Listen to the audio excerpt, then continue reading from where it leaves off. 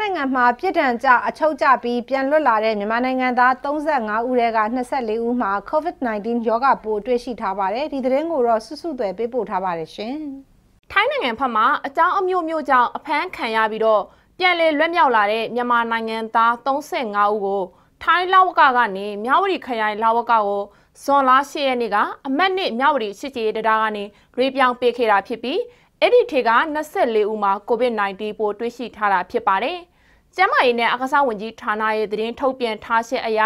အဲ့ဒီထေက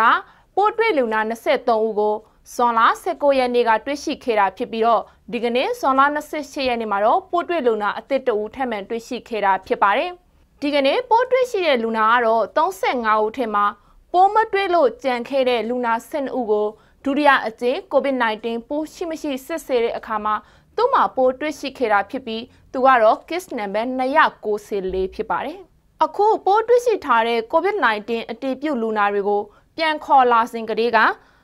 တိတန့်ကားတွေနဲ့ခေါ်ဆောင်လာတာဖြစ်ပြီးတော့ quarantine ကိုလည်းဖအံမြို့မှာရှိတဲ့မူရစ်ပြန်လေထူထောင်ရေးစခန်းမှာတိတန့်စောင့်ကြည့်ထားတာဖြစ်ပါတယ်။ထိုင်းနိုင်ငံကပြန်လာတဲ့ပိုးတွေ့လူနာတွေနဲ့ထိတွေ့မှုရှိခဲ့တဲ့သူ15ဦးကိုလည်းဒါ COVID-19 ပိုးရှိမရှိစစ်ဆေးတဲ့အခါမှာသူတို့မှာပိုးမရှိဘူးလို့မြဝတီအုပ်ချုပ်ရေးမှူးက DPP ကိုပြောပါတယ်။ ထိုင်းမြန်ပိုးတွေ့လူနာတွေကိုလက်ရှိမှာရန်ကုန်မြို့မှာရှိတဲ့ဝေဘာကီဆေးရုံမော်လမြိုင်ပြည်သူ့ဆေးရုံနဲ့ဖအံပြည်သူ့ဆေးရုံတွေမှာဆေးကုသမှုပေးနေတာပဲဖြစ်ပါတယ်။ကျမရီနဲ့အကစားဝင်ကြီးဌာနအနေဇွန်လ28ရက်နေ့သတင်းထုတ်ပြန်ချက်အရ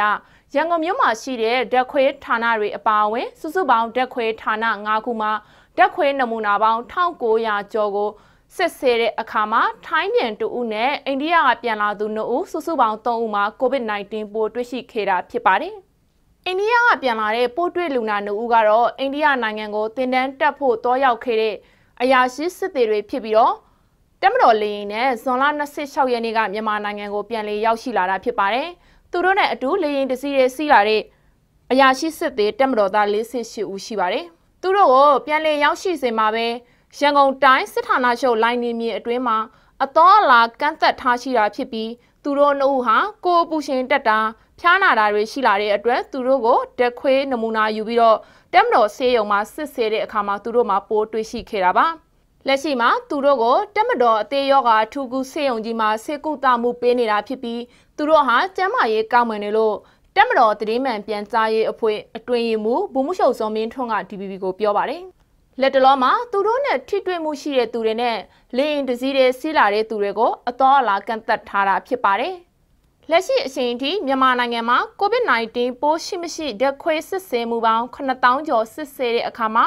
ပိုးတွေ့သူ296ဦးရှိပြီးစစ်ဆေးမှုရဲ့သူများဒသမ4ရာခိုင်နှုန်းမှာသာပိုးတွေ့ရှိထားတာဖြစ်ပါတယ်။လက်ရှိအချိန်ထိမြန်မာနိုင်ငံမှာ COVID-19 အတည်ပြုလူနာ296ဦးရှိပြီး အဲ့ဒီထဲကနှစ်ကြိမ်ဆက်တိုက်ပိုးမတွေ့လို့နေပြန်ကောင်းလာသူကတော့130နဲ့6ဦးရှိတဲ့အတွက်ယောဂပိုးတွေ့ရှိသူရဲ့83ရာခိုင်နှုန်းဟာနေပြန်ကောင်းလာတာပဲဖြစ်ပါတယ်။ပြန်လည်သက်သာလာသူ116ဦးထဲက102ဦးကိုဆေးရုံကဆင့်ခွင့်ပေးလိုက်ပြီးဖြစ်ပြီးတော့6ဦးကတော့သေဆုံးသွားပြီဖြစ်ပါတယ်။အခုနောက်ပိုင်း COVID-19 ပိုးတွေ့ရှိတဲ့လူနာအများစုကတော့ပြည်ပနိုင်ငံတွေကနေပြန်လာတဲ့သူတွေဖြစ်ပြီးတော့ပြည်တွင်းမှာကူးစက်မှုမရှိတာဟာနှစ်ပတ်နီးပါးလောက်ကြာမြင့်နေပြီဖြစ်ပါတယ်။